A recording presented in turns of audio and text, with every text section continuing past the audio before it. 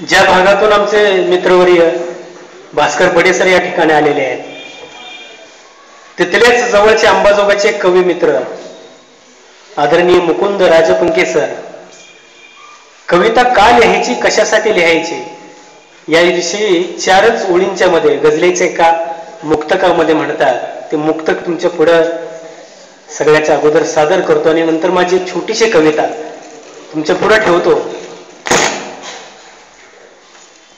कविता का लिहायची आणि कशासाठी लिहायची? मुकुंदराज पंकेंचे शब्द आहेत. झोपल्यावर गाव सारे जाग तुम्ही. झोपल्यावर गाव सारे जाग तुम्ही. अनविस्तवाच्या रोज नादी लाग